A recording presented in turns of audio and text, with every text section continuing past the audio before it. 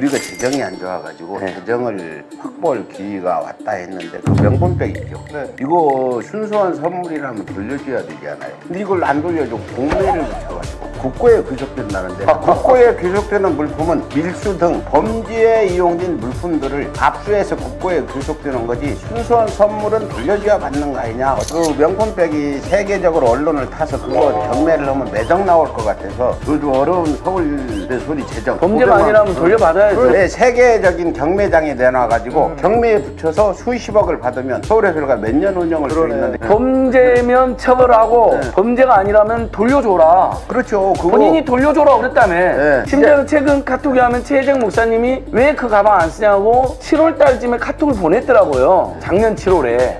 근데 그때 또 답을 안 한 거예요. 맞아. 근데 알고 있었다는 거죠. 만약에 김건희가 무혐의가 나온다면 디올백은 순수한 선물로 규정됐기 때문에 당연히 우리가 달라면 줘야 된다 이런 논리인데. 맞습니까? 맞습니다. 그래요. 범죄면 음. 처벌하면 되고 그게 뇌물이든 알선수재를 한 거면 처벌하면 되는 것이고 그게 아니라 지들 말대로 당일 돌려주라 그랬다. 이제 그게 말이 안 되니까 기분 나쁘지 않게 나중에 돌려주라 했다. 근데 비서가 잊어먹었다. 목사님이 심지어 작년 7월에 왜 안 쓰세요 그러니까 확인까지 해놓고 심지어 뭐 영상 폭로하니까 그때 알았다고 거짓말한 거 아니에요. 선물 받은 것을 그래서 돌려주지 않았던 것을 그러면 지들 말대로 하면 지금이라도 김건희가 죄송하지만 이제라도 돌려드립니다 하고 대국민들한테 사과하고 돌려주면 되잖아요. 그런 서울에서 그래서 그 정말 경매 붙이면 그러니까 서울의 소리가 재정을 지금 이 타개할 수 있는 방법인데 이걸 내가 저기 이창수 지검장을 만나서 돌려주라고 해라. 이거 범죄가 아니면 네. 그리고 범죄면 김건희를 기소해라. 이렇게 얘기를 할 건데